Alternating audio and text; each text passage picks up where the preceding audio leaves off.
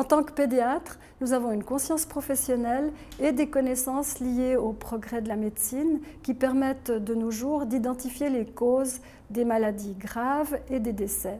Nous pouvons donc affirmer que la rougeole peut être dangereuse pour la santé et même pour la vie, et nous voyons malheureusement encore arriver dans nos hôpitaux des cas graves pour lesquels il n'existe pas de traitement spécifique.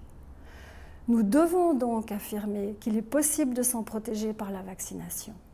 En tant que président de la Société suisse de pédiatrie, nous soutenons cette démarche et il est important que non seulement les pédiatres, mais tous les médecins qui suivent des enfants en Suisse recommandent et pratiquent la vaccination afin que le virus ne circule plus,